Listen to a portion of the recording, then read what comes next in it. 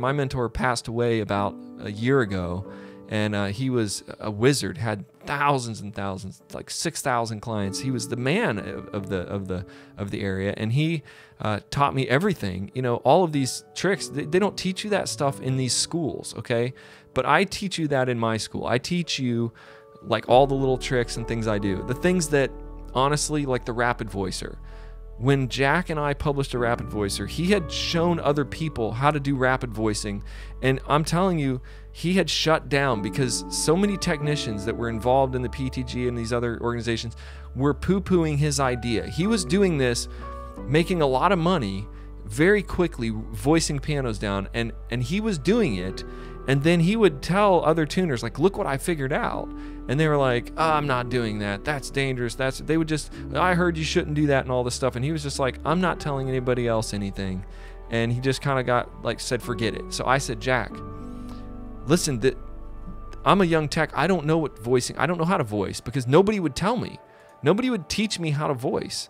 And I was frustrated. I was like, people are asking me to voice their piano, and I'm scared to death. Jack, what do I do? He's like, oh, you just do this and do this, and he started showing me, and I'm like, oh, yeah, that works. I'm a musician. I play the piano. My degree is in piano and, and voice, so I, I understood like the piano sounds bright. How do I get it to be softer?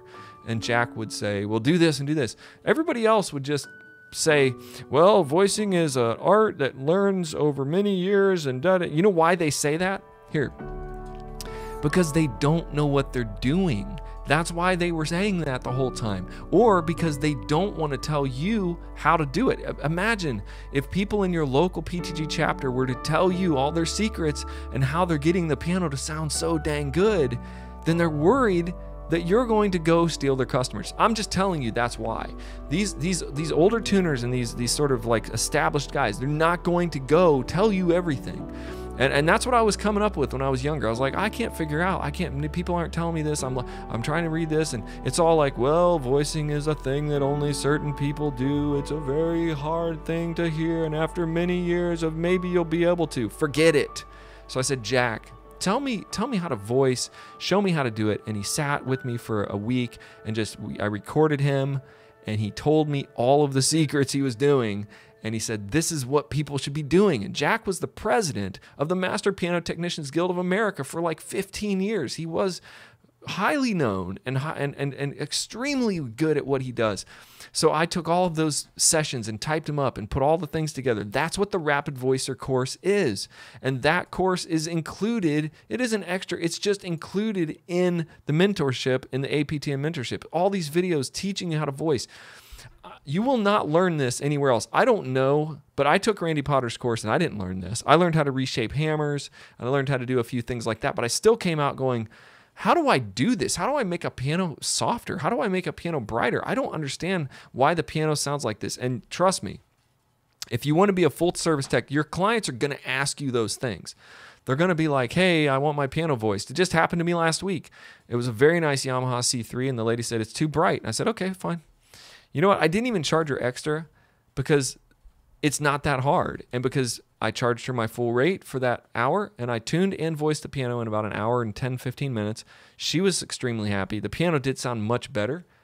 And I left. And she's going to love me from now on because I did that for her. And it wasn't like, oh, well, it's going to be this and that and blah de blah and $500 and jicky jack. And that, you know, that's, that's what these people are doing. And I'm against it. You know, I love the piano. I want to uh, pay the for pay forward what Jack taught me. The Rapid Voicer course is included in here, and the people who have tried it are like, oh my gosh, like this guy. I placed the keyframe back in the piano, took a deep breath, and began to play. You know why he did that? Because he was like worried, like this piano is going to be ruined because everybody's like, you got to do this. I found myself saying, oh my, oh my, the sweetness had returned to my piano without loss of power. This is a piano technician that tried the Rapid Voicer. That's why in the front of this, I said, Are you willing to try it? Because so many people will be like, I'm not doing that. That's not the technique way to do it. And they just act like they know everything. I don't pay attention to those people, and I teach you how to not pay attention to those people. I think that's what's different about Apex, and that's why it's called the Apex Way.